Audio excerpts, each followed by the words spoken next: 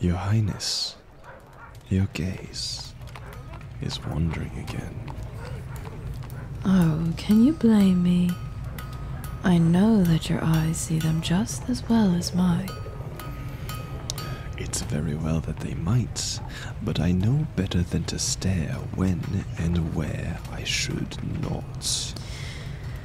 I can never understand why you deny yourself the simplest pleasures in life. Enjoying a pleasant sight is hardly a sin.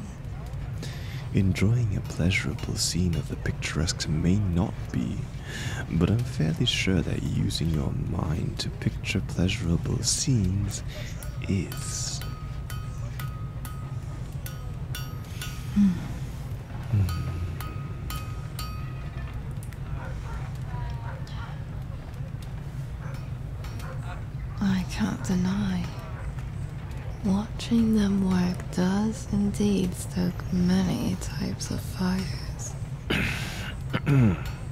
Your Highness, stop it. You're being indecent.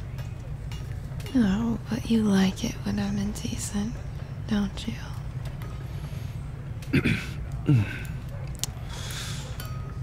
Your silence speaks volumes, dear knight. Yes, and you speak volumes on subjects that you should be silent on when we're in public. Would you quit twisting my own words against me? I swear I may have been the one to receive tutoring on language and speaking, but you're the one who uses it better. Besides, I see no one around us. Certainly no one within well enough range to read our lips, let alone to hear what we're saying. Besides, I suspect that you're not opposed to hearing my tongue speak such filthy things, and in the sweetest words. I. I won't say that I despise hearing me. your voice spin the most vulgar acts into something more alluring. Mm-hmm. You won't say that, or you can't say that. Mm-hmm. I suppose, if I'm to be honest, And you are. Hmm. if I am to be honest, then it is that I can't say such things. I know it. Yes, yes, your highness is correct, as is to be expected of someone of your caliber.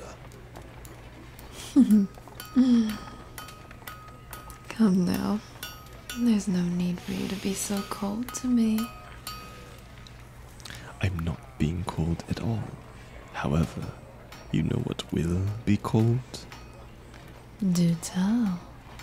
I'm sure that you'll find my place in your bed to be rather cool without me there to warm it. Oh, you would take your place in my bed? But wherever else would my dear knight go? Surely you do not plan to sleep in your own quarters, so far from my own. Hmm, perhaps I might. Or perhaps I might even find another bed to warm. One that is as warm as the forge. Are you telling me that you'd ask to lay next to the person of our shared interest without inviting me? I never said that. You are free to ask them if you may join us.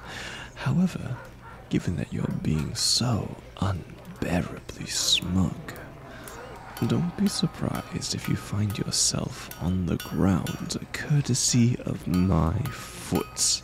How rude. I doubt that our lovely blacksmith would appreciate such mean behavior towards a bedmate. With behavior like yours, I'm sure that they would understand. On the contrary, I think that they will enjoy having me in their bed. I would do anything and everything in my power to make sure of that. Are you sure you can uphold a promise like that? As much as I hate to boost your ego, you do wield an amount of power that is more than substantial. Precisely my point. I guarantee that I will show them my attraction to and fondness for them by any means which please them, no matter what they may entail. Oh, that's quite a bold declaration for you to make. Is it? I suppose it might be, but it's not one I make lightly or without thought. My heart may be that of a romantic, but my will is made of iron and steel. I am very well aware, Your Highness. You have made both of those facts very evident to everyone whose path comes across your own. To some more than others, I hope. I would say that depends on which others you are speaking of. My dearest, most treasured knight. I'm speaking about you. Though I should think you already know that. I might, I suppose. You might. That's what I said. Yes, that I might.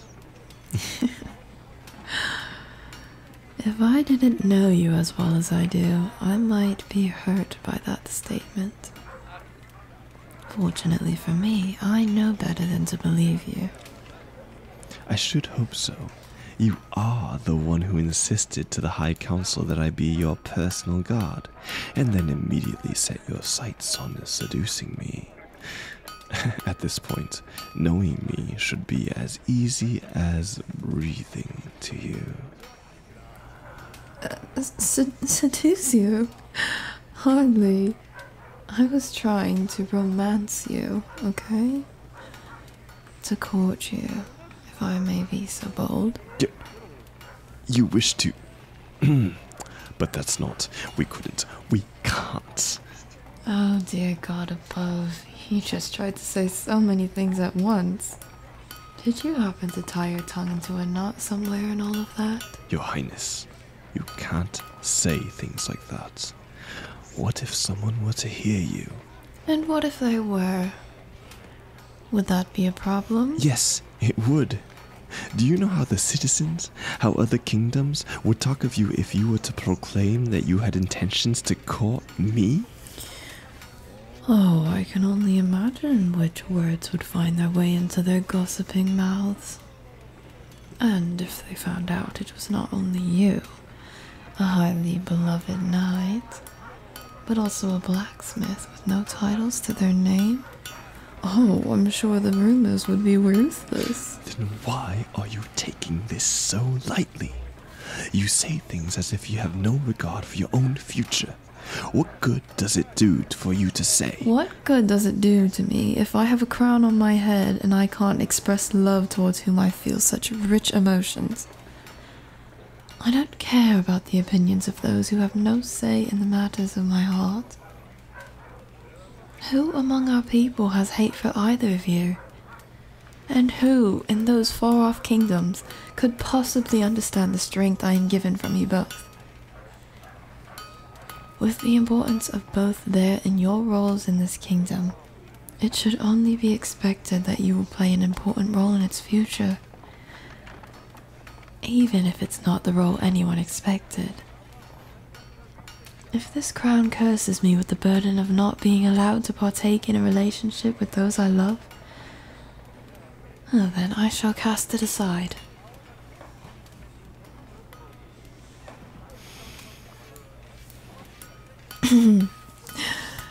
However, given that our dear blacksmith is the one responsible for making my crown, I doubt that it shall be a burden at all. In fact, I think I should quite like wearing their handiwork. Just as I enjoy being able to have you at my side as my guard. I can't tell which I enjoy more. Getting to brag to others about how skilled you are, or getting to see said skills in action. Your Highness, it's usually that your bragging is what brings about me needing to put such skills to use.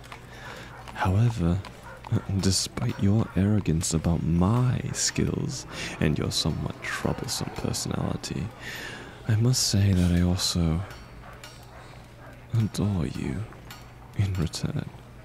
Though I can't help but worry about your reputation and how others may view you. You shouldn't worry about such things, really. I can't please everyone. And I won't try. I'll do what is best for my kingdom. And that is all I can do. Those who are unhappy with whom I should court should remember that they have no say in the matter. You're right, I suppose. My job is to protect you from those who try to harm you, and when their words can't reach you, I have no reason to try to defend your honor. I should remember that you are much stronger than their words. Precisely, my beloved knight. Though I am flattered by your noble heart and the way it cares for me. But now, I believe that our blacksmith is looking in our direction. Are they perhaps wanting to speak to us? It seems that they could be. After all, I remember their excitement when we last spoke. They mentioned wanting to show you the plans they had for your crown. Did they? Funny that, because they were asking me questions on the specifications of the sword you would like.